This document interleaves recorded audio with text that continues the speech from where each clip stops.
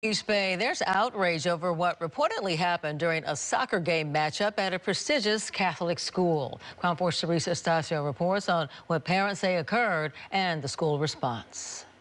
I think it's disgusting. I had my both my sons went here, and for parents to act that way is not okay. Completely disgusting. That from an East Bay mom responding to allegedly racist words hurled at the Sanger High School team as a soccer game unfolded on the field of De La Salle and Concord days ago. They need to take action. They need to do something. If they don't do something, there's going to be too many parents complaining about it. It's wrong. Parents from Sanger High School went online saying people in the stands allegedly made comments about the kids' skin color and said derogatory words about their Latin heritage.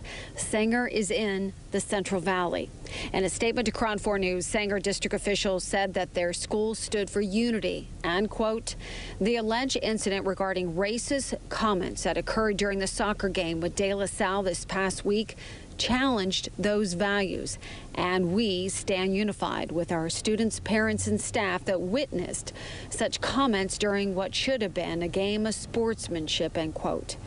De La Salle issued KRON 4 this, quote, De La Salle High School is aware of the comments allegedly made at the De La Salle versus Sanger High School soccer match on Tuesday, March 1st. The alleged comments are entirely inappropriate and do not keep with our school standards, expectations, and our mission as a Lasallian Catholic school. We take these allegations seriously. Once aware, we immediately launched an investigation into the matter. Other parents who declined to go on camera tell me that they really hope that this is not a matter that is swept under the rug and that eventually the investigation will lead to action. Here in Concord, Terisa Estacio, KRON 4 News. UC Berkeley